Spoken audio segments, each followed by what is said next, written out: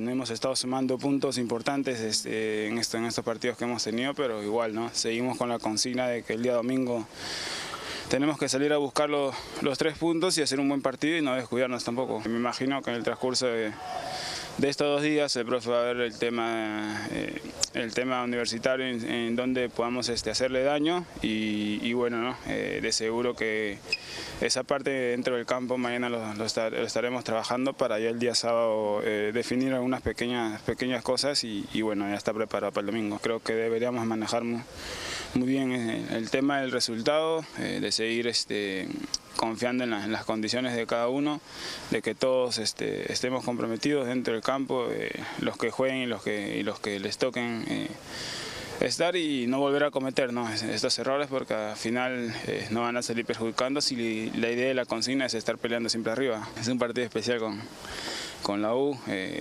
siempre he demostrado mi, mi hinchaje hacia la U, pero me debo y trabajo a San Martín, así que tengo que seguir haciendo las cosas bien. ¿no?